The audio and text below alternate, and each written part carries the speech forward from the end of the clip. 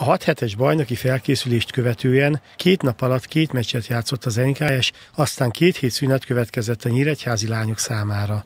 Ami persze nem azt jelenti, hogy pihenéssel töltötték az időt Farkasinszki Gyuláni tanítványai, mivel a Nemzetvédelmi Egyetem elleni győzelmet követő debreceni vereség megmutatta, hogy van még hová fejlődni a csapatnak. Az edzőnő a szónok elleni mérkőzést követő időszakra is gondolva állított össze az edzésprogramot. Nekünk ez egy kényszer volt, hogy akkor az azon a hétvégén két meccset kellett játszanunk, ugye a szalagató miatt kellett ezt így megoldanunk, de ettől függetlenül nem lazsáltunk, tehát tudtuk, hogy ezen a héten a szónok jön. Ugye a következő hétvégén nekünk megint csak szabad ez, és utána fogunk menni Diósgyőrbe, tehát mi ezt elsősorban arra használtuk, hogy egy a szónok ellen készüljünk, utána pedig, hogy a Diósgyőr ellen megpróbáljuk idegenben úgy felvenni majd a versenyt, hogy annak valami eredménye is legyen.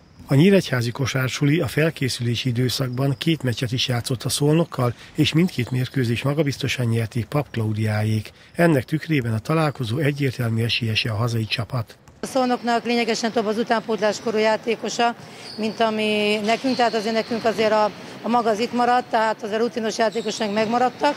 Én úgy gondolom, hogy ennek egy biztos hazai győzelemnek kell lenni.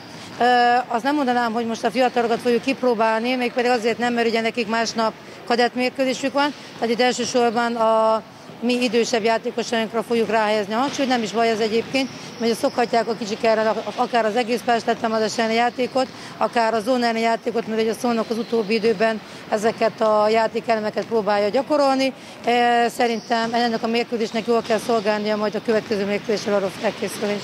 A Nyíregyházi kosársuli Szolnok mérkőzés szombaton 17 órakor kezdődik a Szent Imre gimnázium csarnokában.